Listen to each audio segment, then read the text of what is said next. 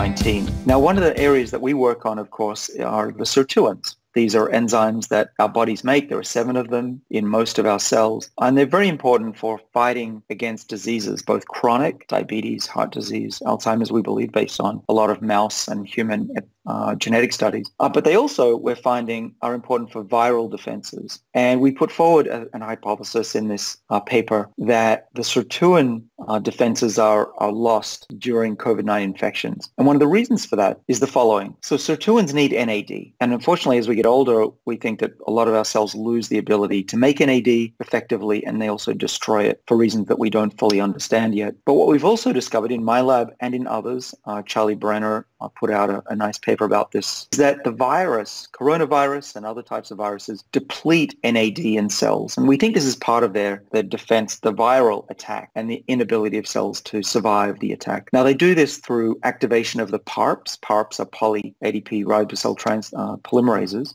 So they do this by activating the PARPs, such as PARP1, PARP12, PARP14. And PARPs are enzymes that polymerize NAD and deplete it from the cell. And we think that by either blocking the PARP activity or replacing, replenishing the NAD levels in infected cells and in the body of patients, we can give them a better chance of survival. Now, why would we worry about NAD and sirtuins? Well, sirtuins, particularly sirtuin 6, sirtuin 1, and sirtuin 2, they control inflammation and they dampen it when it's overactive. I mentioned the inflammasome. Well, one of the key components of the inflammasome is called NLRP3. And the acetylation, chemical addition to that protein, is what causes it uh, to be active. Um, and actually, if we deacetylate of enzymes like SIRT1 and SIRT2 deacetylate NLRP3, it brings that activity uh, down. And so what we're thinking is that when cells are infected, the NAD levels go down. Sirtuins are unable to dampen the inflammatory response and you get this cytokine storm. So in other words, if we were to raise NAD levels in patients, we may be able to prevent their bodies from going into this state of shock